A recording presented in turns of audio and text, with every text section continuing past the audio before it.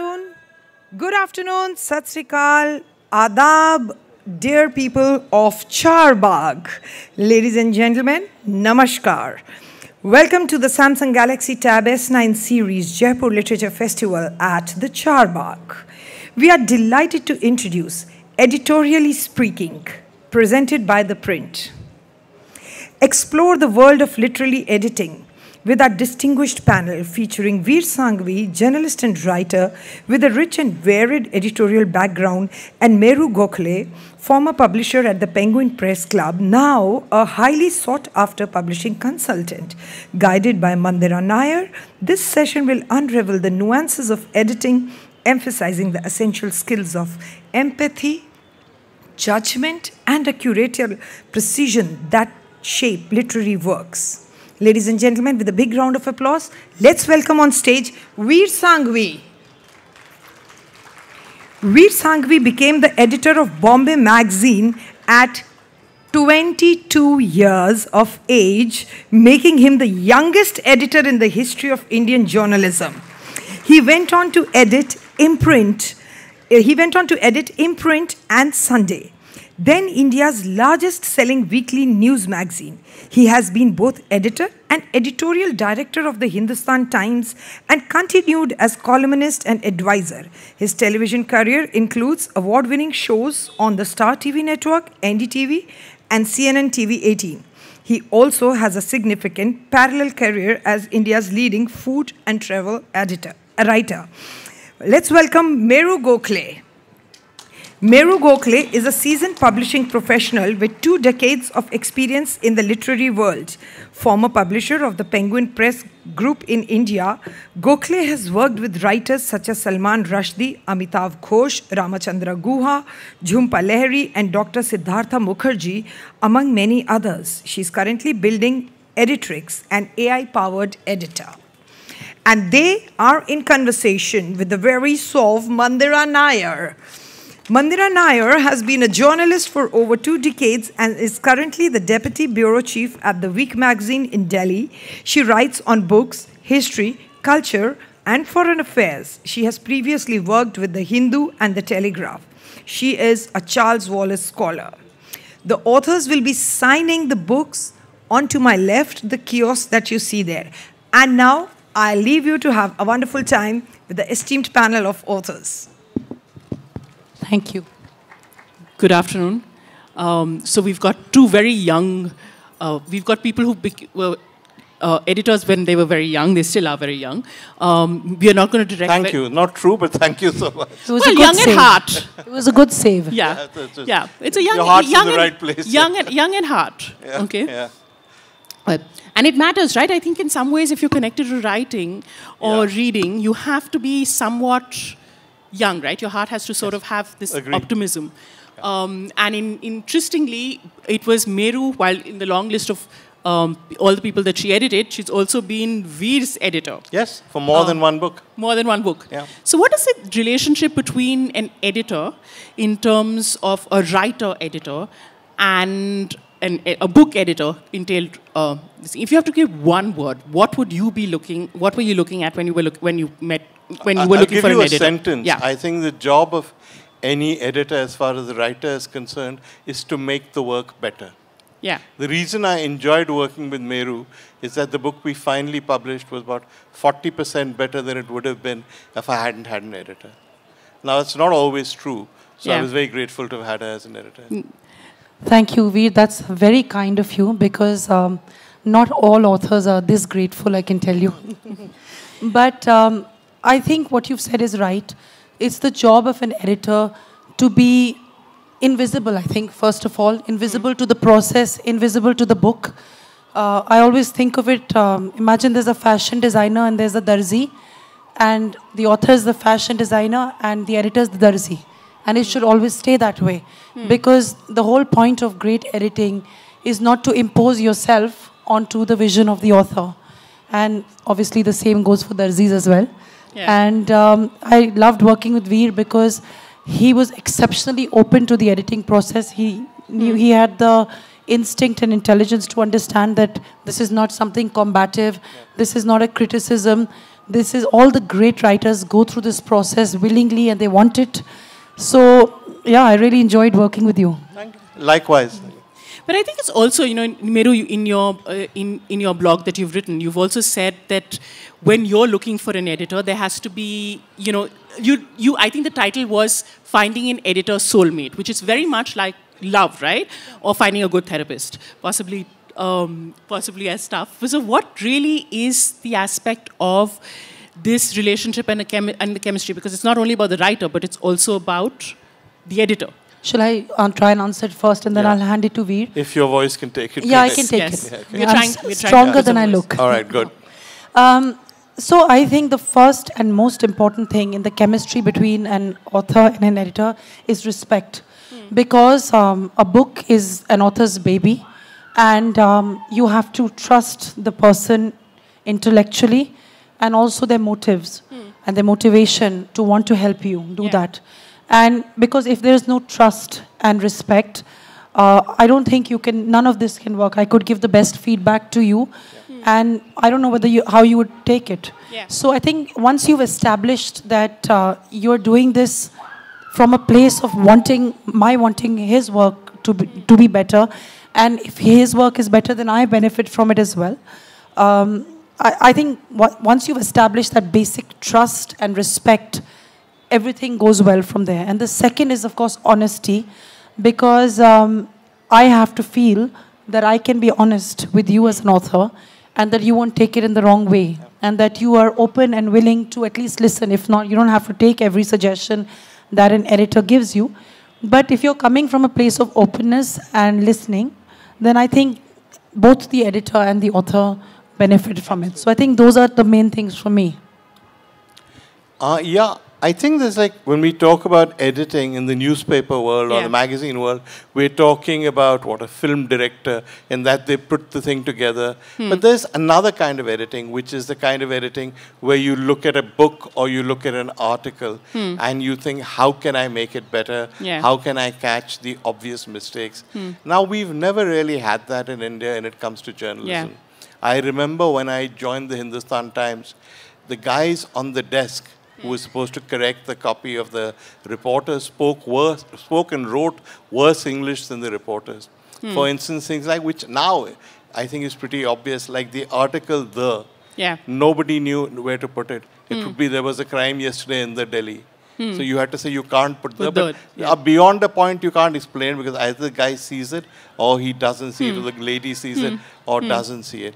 So I find now that in many ways the standard of that kind of editing has improved. Hmm. I do. A, I actually take a no chances. My wife, who's an editor, Yeah. edits all my copy before it goes in, Wow. including my book, everything. So Yeah. I'm pretty sure by the time it goes in or how good or bad it is. Yeah. But there's on the print where I do a column every week, Yeah. there's a an editor called Prashant Dikshit, and I don't think there's a single time when I've put sent in a column and it's not been at least 20% better because of what he's done. Yeah. So that's rare, and Yeah. as a uh, columnist or an author, you're very grateful for it. I, I think I think also it's important because I think if you are a journalist, your desk somehow it's a combative or almost a combative relationship. While with, with in terms of a book, it's a different thing. But you know, I wanted to ask you. Um, I wanted to ask Meru first, and then I'll ask Vir. Um, you know, people dream of become, becoming writers, right? Your mother was is a writer. You've sort of grown up with the word. Your uh, Patrick is a writer. Was writer. Sort of, what makes you dream? Do you ever dream? Did anybody dream to become an editor? I mean, what what does an editor really do? I uh, no, Good I, question. Yes. That's a great question. So editors are in general. I would just go back to the first thing you said. Do you have to be young at heart? And Vir, I think, is young at heart. Yeah. But I am not. Uh, I'm very Also old at heart. Yeah. Huh. And I think editors are old at heart. Many of them. Hmm. And they're sort of these long-suffering, old at heart kind of souls. Uh, I don't. And it, it definitely there is a personality type. Yeah. Quite introverted, solitary, wanting to do, um, you, you know, just a more invisible kind of work. Yeah.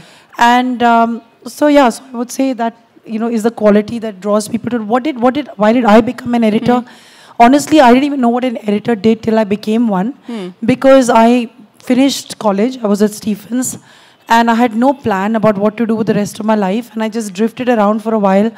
Um, everybody that sounds else, like a journalist, huh? I know, mean, it's borderline, yeah. Yeah. And um, then I was like, what should I do now? And I knew Ravi Singh of Penguin, and I'd met him a lot, uh, you know, over the years. And I just one day on an impulse phoned him up, and I said, I want to be an editor. And he said, okay. Uh, I said, will you give me a job? And he said, okay, let me think about it. And he gave me some freelance work to do. So after doing a few books, then he gave me a job in, at Penguin. And so I've been at Penguin and Random House and then Pen- Penguin Random House for nearly 20 years since that day. And um, it's, it's, a kind of, it's the kind of job which just grows on you. There's no, even today, to this day, if you want to go and learn how to be an editor, there's no school. Hmm. I would say it's a kind of apprenticeship Yeah. which you people accidentally fall upon. Yeah. But having said that, I would encourage more people to think about being editors because it's incredibly rewarding. Hmm. And I've loved every time I've been in, I find it a privilege to be able to work with so many amazing people and have them trust me with their work is a real privilege. Yeah. So I encourage people um, who you know want to be writers. If some of you also think that you want to be editors, uh, please do it. So, you know, you, um, you know, like you just mentioned, a lot of this, uh, you know, when, when, you've been, when you've been a journalist for a very, very long time, when you're a good reader, um, when you've been an editor yourself and not necessarily the copy editor, but essentially someone who commissions, it's also very difficult to put yourself on page and sort of accept, you know, in the sense that, um, you know, there is this whole aspect of, um, and, and it sort of goes into a philosophical thing, where, you know, if you um, if you look at all the you know you have to you have to also to to accept and to receive you also have to be a kind of person to do that. You know it is it's also in some way being to be you, you have to allow yourself to be vulnerable. So when you've reached that top how do you actually allow someone else your baby really into somebody else's hand. How difficult i mean how much of it is about vulnerability? How much of it is about keeping an open mind? How much of it is about listening? How much how do you sort of my question is really how do you s- prepare yourself to be a re- the receiver rather than the one who in, gives out instructions? It's like when the editor becomes the edited. yes the editor or a doctor. I mean all doctors are terrible patients or well mostly. Sorry for the yeah, generalization. Except that, at least in my case, the process begins before editing. Like, Yeah. for instance, take my last Yeah. book, which she published. There was one. Bidding war sounds very grandiose, but there were at least two, There three people who put, explained, uh, displayed interest and Hmm. had pay, offered money. And I went, didn't go with the highest bidder. I went with Penguin because I knew she would do the book. Hmm. So by the time you do that, there's already a certain level of trust. You know you're giving the book to somebody who has a sensibility and that which will help her understand your work quite apart from all the other stuff. Now, for instance, when my, my book went, I sent it to her chapter by chapter, and it would come back with little notes in the margin Yeah. saying, This is interesting, tell the full story. Okay, this has gone on too long, can we cut this short? And you realize then that because my book was a memoir, Yeah. you sometimes you sort of regurgitating stream of consciousness nonsense, and you need somebody there to see it from the perspective of the reader. Hmm. So the moment you see the editor as somebody who's like a reader, hmm. Then you say to yourself that this is a sympathetic reader who's told me this is wrong. If it went out as it was, there'll be many unsympathetic readers who will tell me in public that's actually Yeah. rubbish. Yeah. So the editor is your ally, and in many ways, your protector from the rest of the world. So, you know, I was reading um, um, this thing where, you know, Robert Gottlieb talks about this aspect of a relationship. And I think with Robert Caro, he says that at the end of 50 years, they, they possibly had a friendship. Um, and my question is that I think there is this. Um, there is this moment where he narrates what happened with him in Clinton, and he goes into, you know, um, Clinton. I mean, he's editing Clinton's um, memoir, and That would be very interesting to edit. right? And he says that um, apparently, you know, Clinton is, is in this room filled, filled with all of his, well, flunky is my word, not his. Um, and he says that, you know, uh, I'm sure we will have a good relationship. And this guy turns around and says, well, I'm, uh, you, can ask, he said, actually, Clinton says, you can ask anybody, I'm very good with to work with. And uh, Gottlieb turns around and said, well, well, Mr. President, in this case, you will realize you're actually working for me okay and he said he used to um, the, and the interviewer asked him why don't when you say bill why don't you say mr president could mr president when he said i couldn't believe that i cannot have that relationship without, I mean, I cannot have that level of formality. And I wanted to ask you, you know, you've edited so many people. You've edited, you know, Amitav Ghosh, you've edited Jhumpa Lahiri. How do you sort of create this informality with someone who has achieved or has is a very accomplished writer and has had other editors. So where what is the formula of sort of you know becoming their ally rather than and you know sort of becoming of rekindling the spark or no, I, I, think what you say is interesting, but personally, um, I've never been that kind of editor. Um, I quite like a certain amount of formality because I think it helps to, you know, I, I think if you try to make that relationship with, it, uh, with your author into everything, that complicates things, for me at least. I want that person, I want to be a blank slate for that person. I don't want them to have to think about my feelings or what I might think. It is at its heart a professional relationship. Yeah. And so I don't necessarily even seek to introduce formality into it. And if having worked with you know somebody over a period of time, a friendship naturally develops. Yeah. Because it's a very close thing. Yeah. Working with somebody about their, for example, in the case of a memoir, your it's quite a personal thing. I and I think I would go as far as to say that's true of any relationship. Yeah. The minute you try to introduce um, an element into it, I don't know if it works.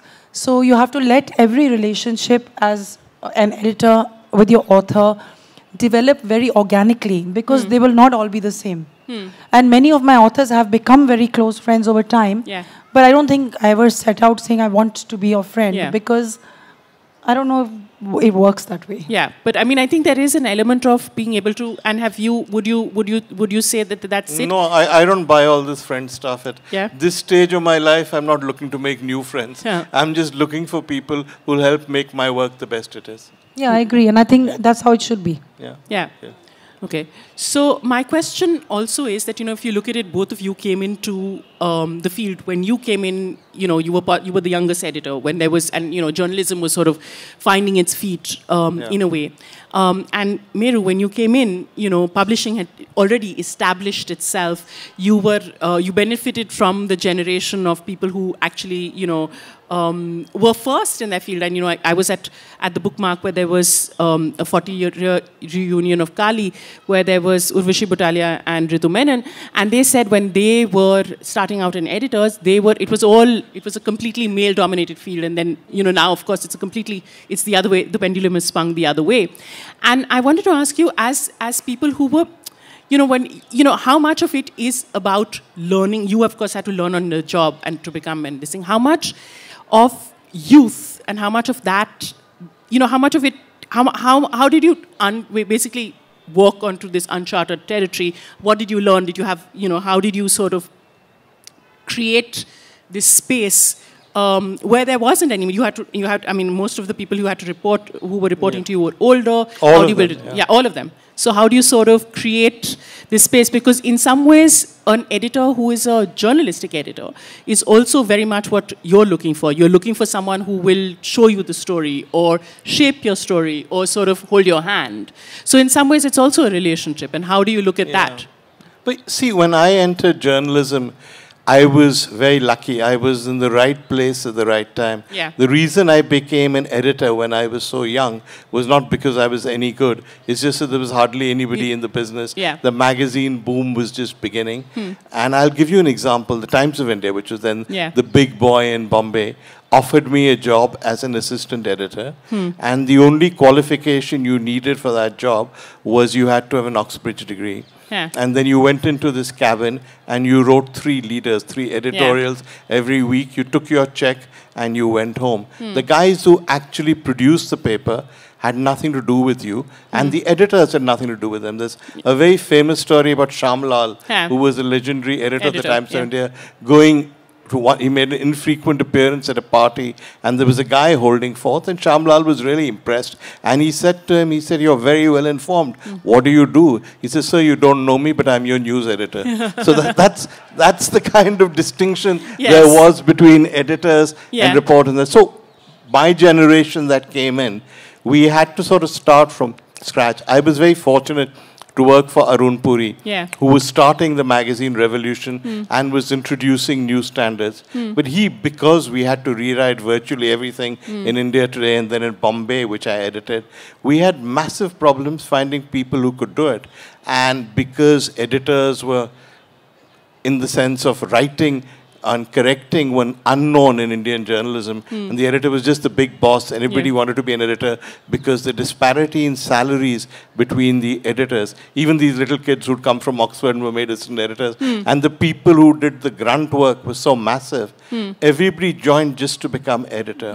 I remember Arun saying to me in frustration because all the people on the desk want to do other things. Hire people who want to die as sub editors. it, it was not actually possible. and then true. Suman Dubey, who was an Yeah. editor of India Today, said to me, hire English MAs. Huh. They will know how to write, they will learn very quickly, there are no jobs for them, and they'll be grateful when you hire them. Yeah, yeah. So it was a very, very different world in those days. Yeah.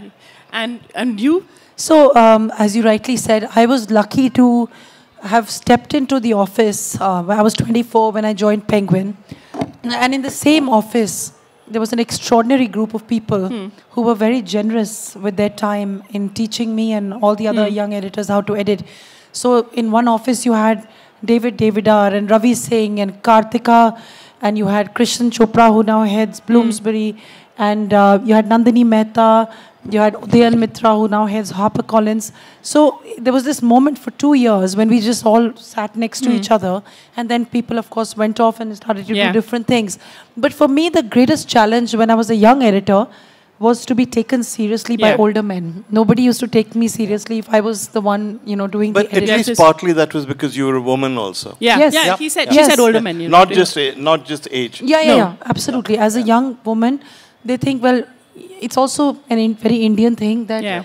it's, um, ki, it's, they want, they felt like I was too junior to be handling their book. Yeah. Therefore, not important enough. Exactly. So everybody wants the top guy, Yeah. and they, they don't want you to do the work. But then over time, you know, once you've done a few people's books, Hmm. and you you know people tell other people that you're a very good editor, then they themselves come and ask you for it.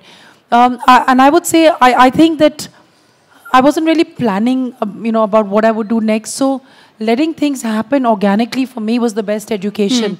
That uh, just seeing what comes your way and learning from that is quite an underrated skill. And I think Vir in his memoir, and if you haven't read it, please do. It's called A Rude Life. Yes. And one of the things. You're going to hold it up. The, Yeah, the yeah. Sorry, sorry, sorry. I have it on my lap. let yes. me hold it up, It's yeah. a Thank you, thank you, rude thank life. you, the publicity. Go Yeah. Yeah. And You were saying. Yes. So one of the things in this book, let me do it again. Yeah. yes, important to hold Has it everybody Thank seen it? Yeah.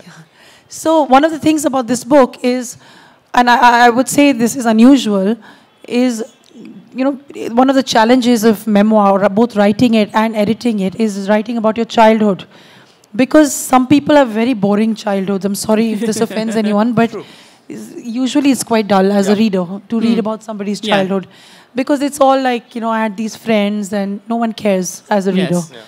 But Vir had a very interesting childhood. So he, uh, and I'm going to let him talk a little bit more about that. But editing the part about his childhood was the best part of the book for yeah, me. I, I, I agree. I think I because think uh, one yeah, of the characteristics which comes through Yeah. for me as a reader and as an editor is that he's also somebody who just lets things happen and see Yeah. where that takes him. And that's worked out really well for Yeah, him. yeah. That he wasn't somebody who was going and plotting and planning his next move. He doesn't mind just throwing himself into the mix and sort of seeing what happens. And that curiosity is, Yeah. I think, what um, it's a characteristic of an editor also. Just to drift along and see what happens. Uh, I mean, uh, the curiosity of him as a child and as an editor, I think, really comes through in this book. And I really urge you to read it because I enjoyed editing it.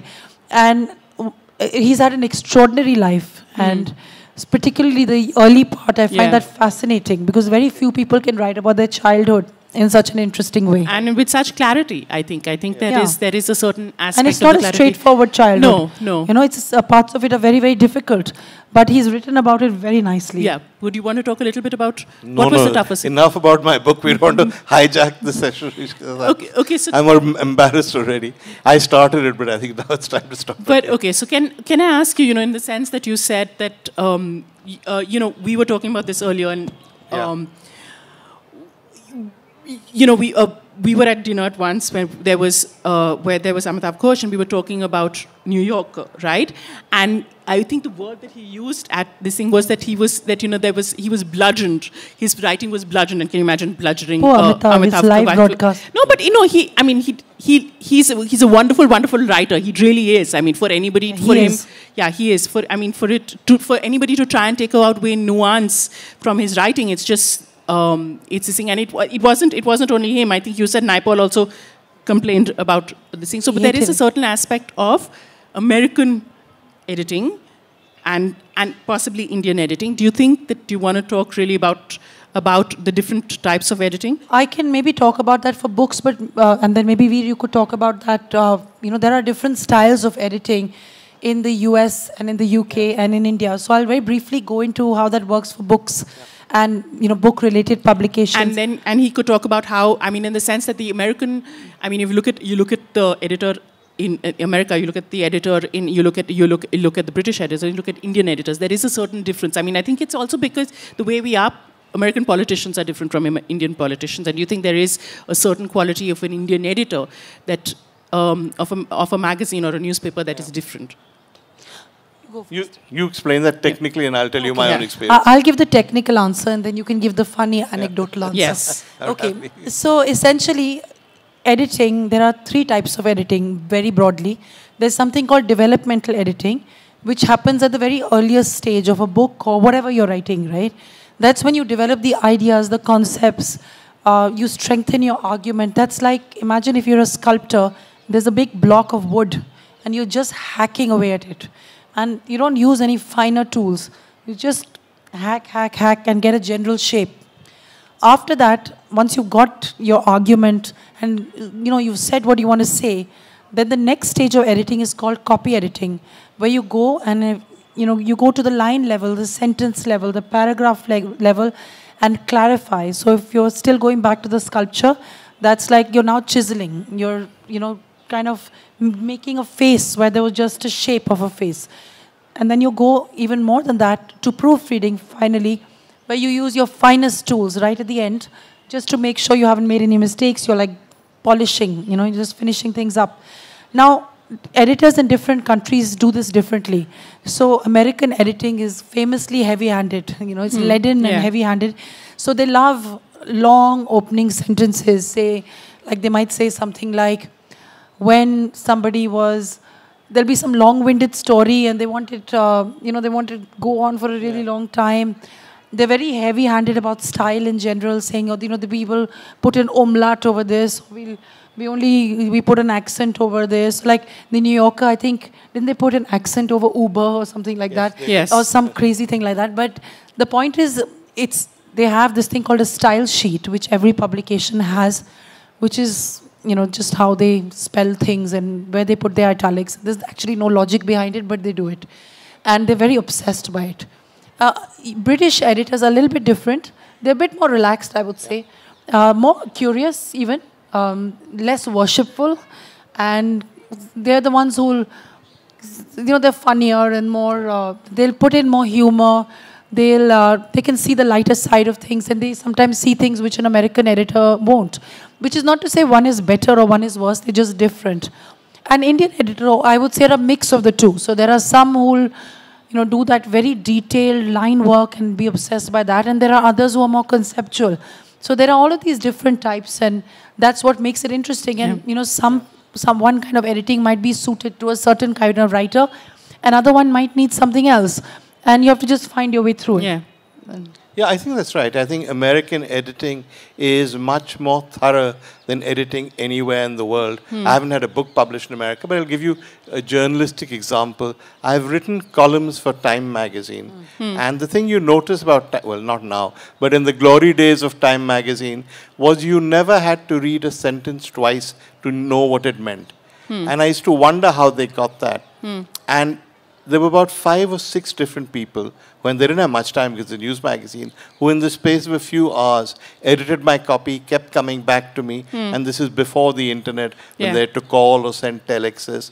And it went all the way up to the editor and they would argue about whether a word was appropriate or not, not in a bad way, in a Yeah, nice sort of yeah. way. Can we do this? Some of it was like obvious stuff, like if I had written when the Rolling Stones came to Bombay, which is an actual example, Hmm. some years ago, they would say, Can we say exactly how many years? Yeah. Which, of course, in Yeah. journalistic terms, is much, much better.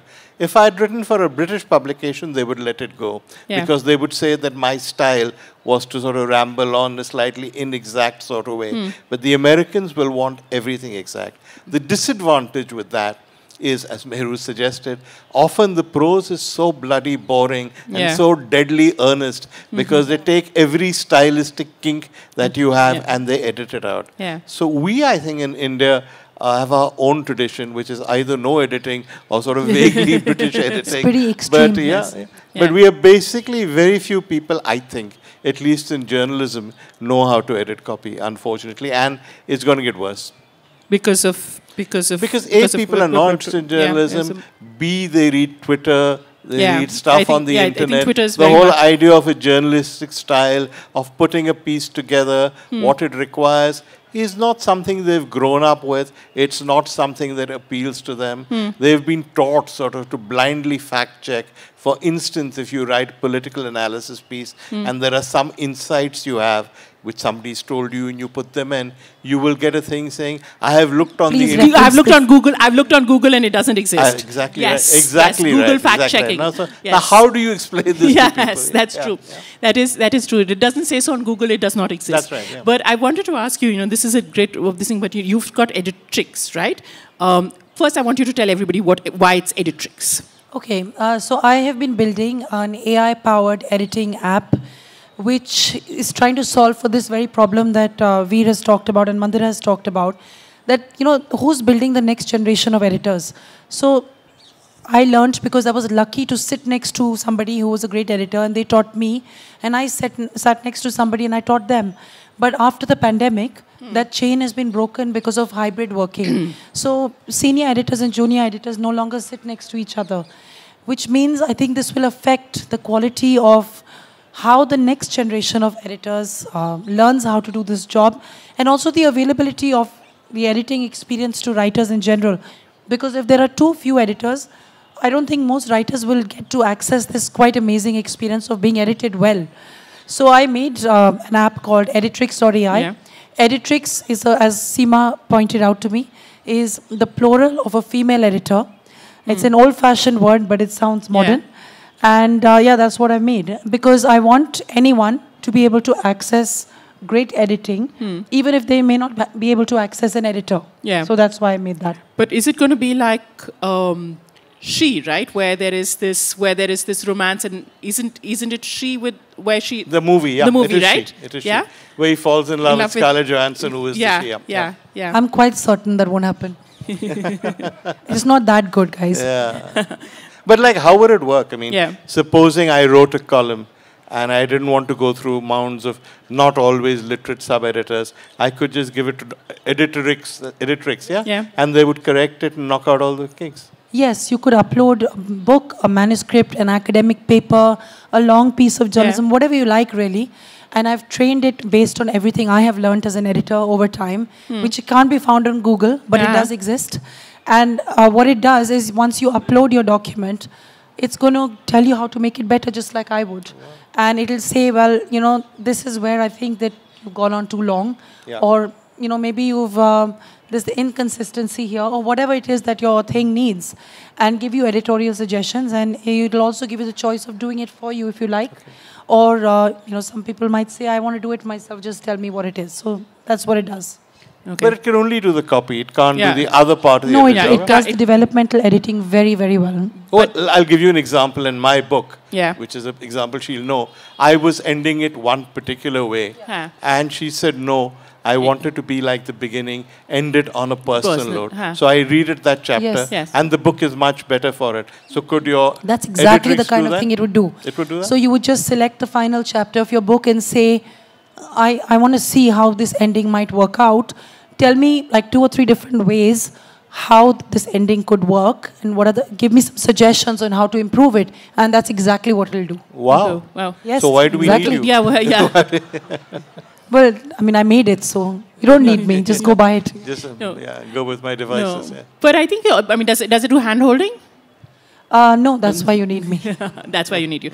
But I wanted, okay, so we, I'm going to open up for, quest, uh, for questions, but I wanted to ask you to repeat. I wanted, you know, there is this aspect um, of, of course, you know, just making the copy better, but an editor also sends a book to press, right? And there is, there are harrowing moments where you're proofreading.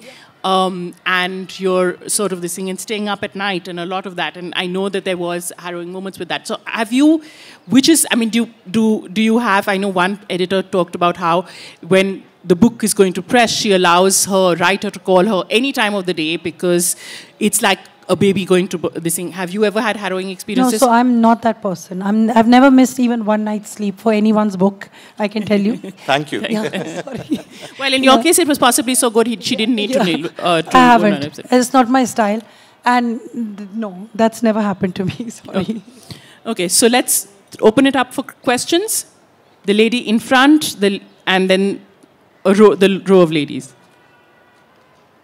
And, and, and the gentleman at the back. So first the lady in front, and then we'll go the gentleman back. Will be gender um, neutral. Lady, yeah. Good evening. Uh, hi.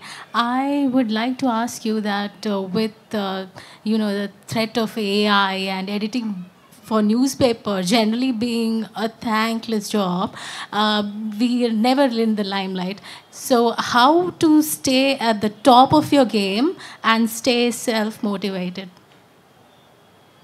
You're the AI person. Yeah. Yeah, you Yeah. answer this. Yeah, but you're the editor, newspaper. Okay, I can tell you how you stay. Se- I can't actually tell you how to stay self-motivated. That's too big a question. But what I can say is, I mean, if you love your job, just I would say show up every day and see Yeah. what are you bringing to it. Uh, stay curious about it and don't take it too seriously. Don't ever confuse your life with your work. I'm a big believer in keeping the two things very separate. You should have other interests in your life apart from your work. Don't lose uh, Yeah. any. You don't lose sleep over your work ever. Sorry. Well, I would go- go along with that 100%. as a journalist, you've never lost sleep over your work? No, That's very good no advice. I, do, I still don't. Um, The gentleman at the back. Life goes on. And I know, gentleman. The lady there, and then the gentleman. Yeah, the gentleman back with the, with the. editing is made in the perspective of reader or the writer. Editing is what? Sorry? Uh, made, uh, do you do, look at the reader or the writer? Who- who- With respect to. The ed- editing is meant for the reader. The whole purpose of the editor is the editor is the stage between you writing and the reader reading it. The editor must ultimately keep the reader in mind because if the reader doesn't want a bad book, a boring book, a book that's repetitive, a book that's hard to read, writers are not always objective about our own work. That's why we need editors to look at it as our first readers. Yeah, I think yeah? that's exactly right. An editor is nothing more than a first reader. That's it. The lady in front. No, the lady in the jacket, I'm sorry. And then you. Then you, I'm sorry.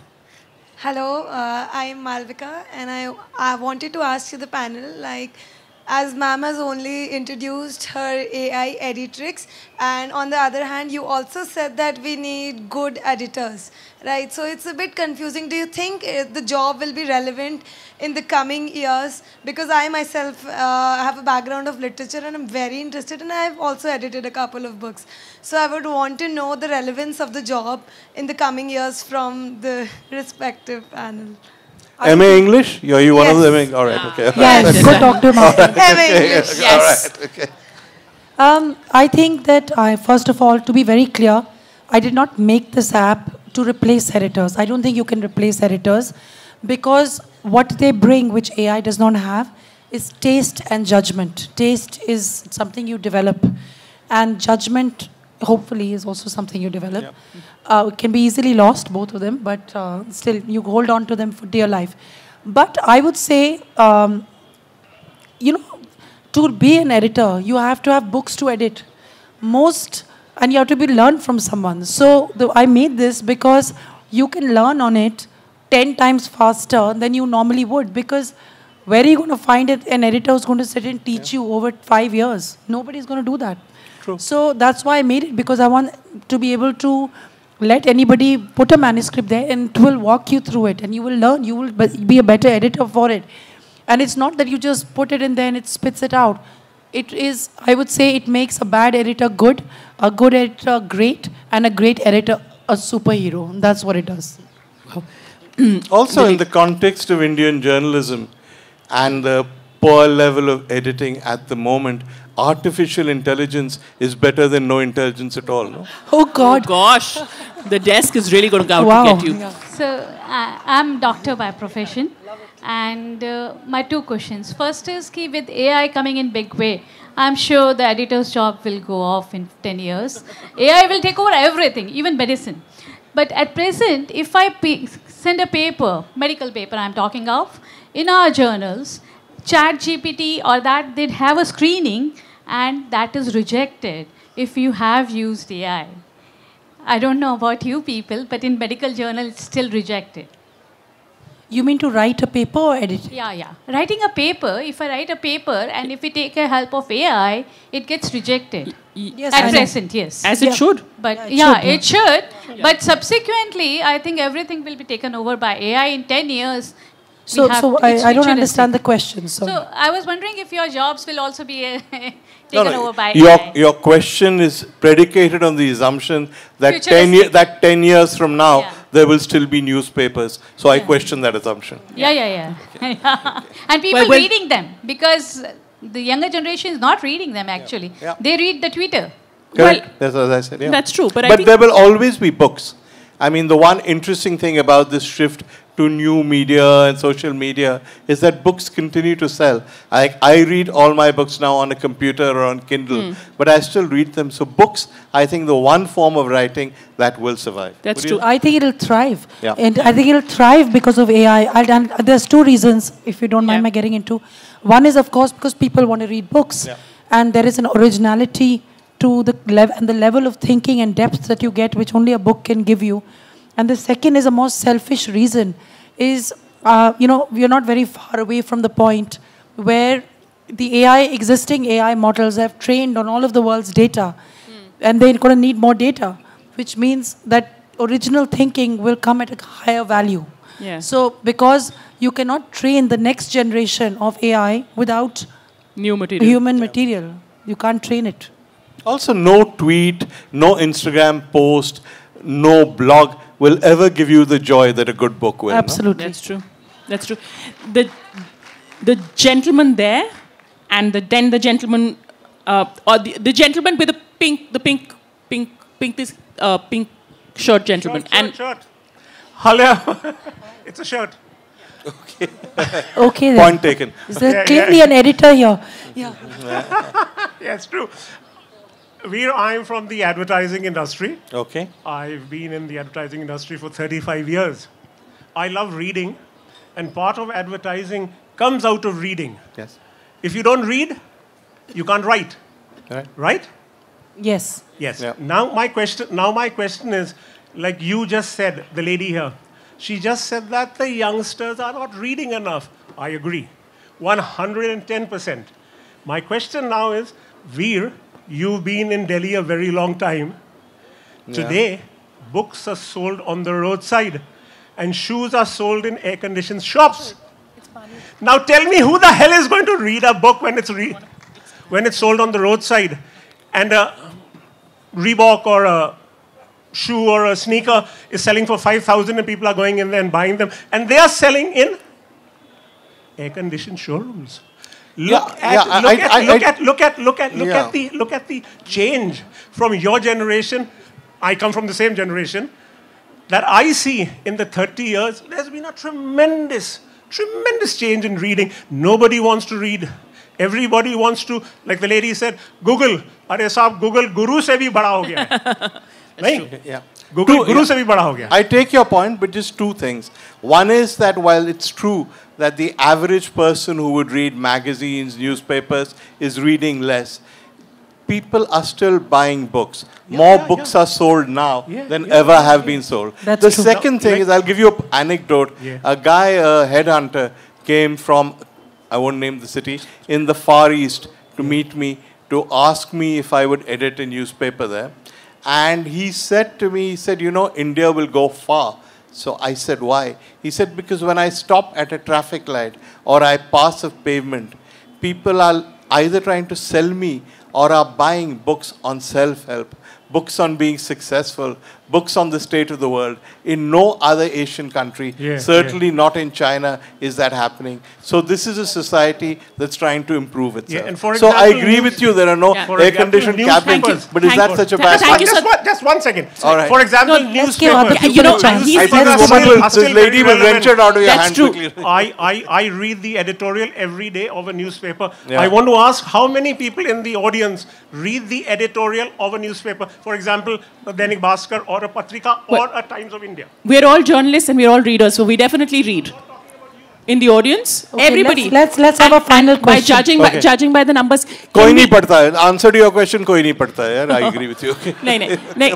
The gentleman in, uh, in front and then the lady right at the back in black. Right at the back. Well, I mean, uh, my question is that, you know, The in the coming future, will it be the end of uh, uh, independent journalism and especially uh, freedom of press with the AI editor in place and the corporate owners, you know, enjoying the scene, you know? Thank you so much. Yeah, it's, a possible, you know, that you proprietors sack all the journalists, hire a few bots, take instructions from the government, and the newspapers appear without any cost. Uh, I would say just something different. Actually, it's not uh, you know the newspaper which will be sacked. It's the proprietor who will be sacked because there is a barrier to entry to journalism, writing books, uh, making movies, whatever it might be. That is the threat or risk or benefit of AI, whichever way you look at it. I don't think there's any worry that uh, people are not going to be making newspapers or writing uh, books. If anything, I just think a lot more people will be doing it, but they will not need a proprietor to do it. They can just do it on their own. That's called Twitter. No, I mean, but it, that's that's why it's so That's- popular yeah, because no, there's a point. long form Yeah. version of that. Yeah. It's accessible to everyone. It's a level playing field. Like So it's a level. it- Anybody Yeah. can become a proprietor of their own newspaper Like, now. like, like, look at the YouTube channels. I mean, that's, exactly. that's, I that's, mean, who Um, made news television irrelevant. Of course. Exactly. All, The same all thing will news happen. In, I mean, all the news- studios, the that'll the lady right at the back um, with spectacles, the one who had a hand up. Yeah, the one. This is the, this is the last question. The lady. In, do you want to just come up in front? No, right at the back. Right, do you want to come in front? And we're. Yes. Thank you. I don't know what to say. Hi, I am in the education industry for past 23 years. I want your comments on ChatGPT. Students are giving ex- exa- uh, tests on ChatGPT. So what do you have to say there? This is all Meru's area, so you can answer it. Okay. Um, so actually, there have been a lot of academic studies on this. Uh, a lot of U.S. universities are doing academic work on AI-produced output and whether it improves the output given by whether it's students, researchers, lawyers. There's a lot of study and actually it improves in many cases improves the level of what is being brought out by journalists by authors by um, students sometimes. I don't think the problem to me is that you know is, is using it going to be a bad thing or not. I as long as you preserve the practice of critical thinking that is what you have to preserve. Not i mean think of it like a calculator rather than just doing it on a by hand. Um, and I think that if schools, universities focus on critical thinking and helping students to think originally and give them the power of AI, they'll only be helped by it, is my view.